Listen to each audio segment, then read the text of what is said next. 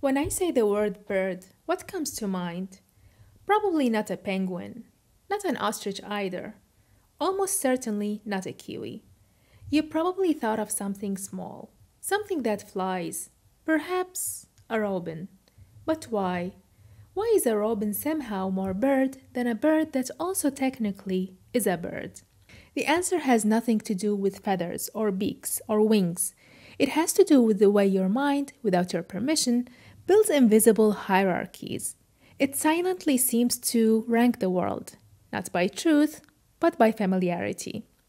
We don't think in definitions. We seem to think in prototypes. And in the next few minutes, I want to show you how this one small fact quietly shapes almost everything you believe, and why, perhaps even without meaning to, you've probably mistaken what's typical for what's true, more times than you know. When we look at the world, we like to think that we see it clearly, objectively, that we group things according to their real essence, what they truly are. But we don't.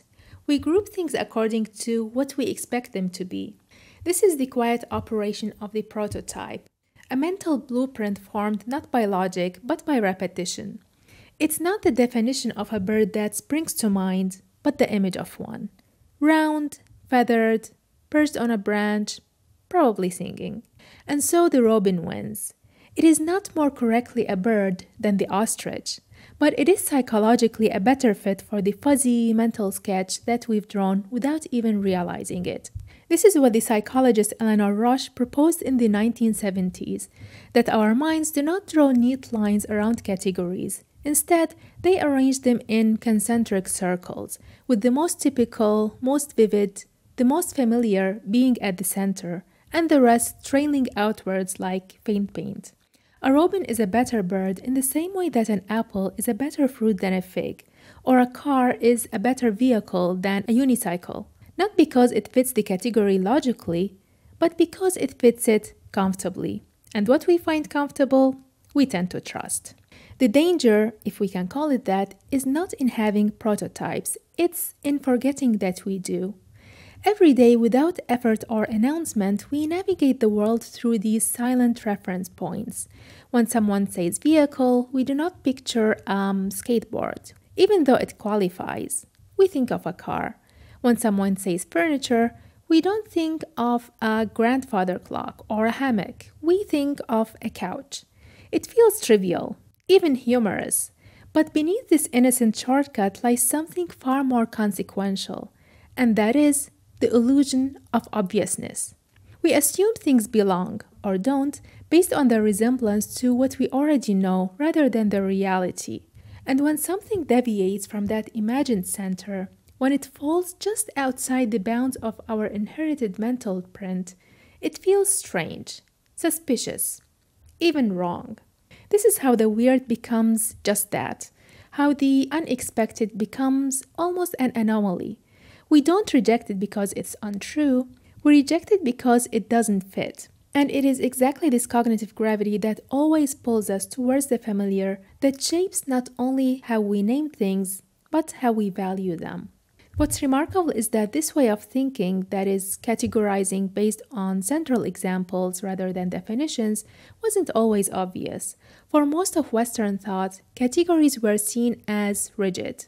Something either was or wasn't a thing based on fixed criteria. This was the legacy of Aristotle. In his short work, Categories, he laid a framework in which everything that existed could be cleanly sorted by fixed traits and definitions into one of 10 neat categories, like an action or a time or a place. But Eleanor Rosch's work on prototypes challenged that view and argued that categories aren't fixed at all. Some things are simply better examples of a concept than others. Now, don't get me wrong, prototypes aren't inherently bad. In fact, there is a very good reason why our brains incepted them in the first place. The world is too vast and multidimensional to fully perceive, so our minds must compress. We summarize, we generalize. We reach instinctively for the most representative, not the most accurate necessarily. And in a way, in doing so, we survive. A prototype makes unfamiliar terrains manageable. It lets you walk into a room and know roughly where to sit. It lets you glance at an object and know without deeper thought or analysis whether you can eat it, or wear it, or run from it. Now, these approximations or mental shortcuts offer us not only speed but also immediate clarity and even predictability. Without them, life would feel too overwhelming by virtue of its own complexity.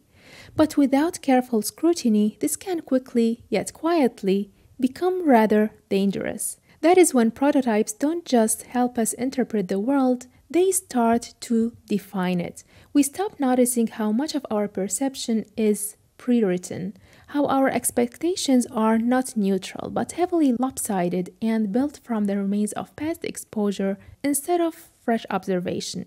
And when the real world presents something that doesn't match our inner sketch, something that challenges the mental images we didn't even know we had drawn, we don't usually redraw the sketch. We dismiss the new information as invalid. So while prototypes simplify reality, they can also suppress possibility.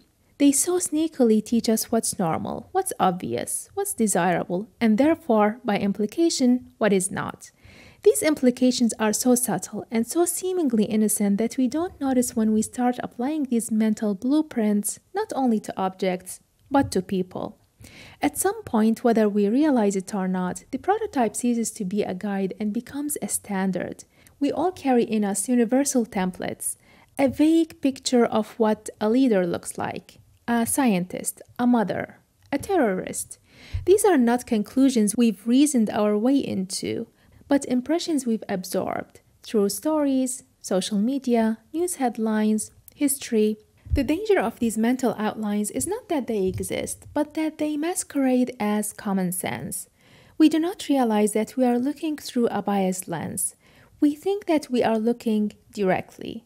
And so, when someone appears who does not match the prototype, like a black man entering a luxury store, there is a cognitive pause, a sense, however fleeting, of incongruence. It's not that such a person is unthinkable, it's more that we haven't thought of them enough. And that precisely is how the prototype transforms into a stereotype.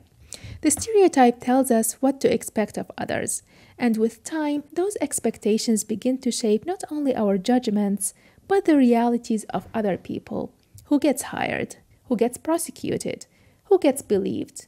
Who gets arrested. Stereotypes are not simply inaccurate, they are limiting, and perhaps the most sobering truth of all is that we have never thought to question the stereotypes that inhabit our minds. Now, again, this isn't to villainize a system that has helped our brains survive immediate threats. In many ways, simplifying and condensing information do allow the brain to survive its own limits. But just because the mind is a pattern seeking machine doesn't mean that it isn't also a pattern revising one. Every time you encounter something that doesn't match the mold, you stand at a fork to dismiss it or to let the brain redraw the mold. And this is how prototypes evolve. I always wonder if the mind constantly draws maps of the world without your knowing, what part of the world have our minds already erased? And if we rediscover them at some point, will we realize that we have encountered them before, albeit with a different level of awareness that could not accommodate them at that point? Now, prototypes are one of the many ways inherited biases manipulate and determine our perceptions and thought processes. Language and culture are not neutral bystanders in our cognitive landscape either. If you're interested in exploring how these shape your perception and reality, you can check out other videos I made on the subject.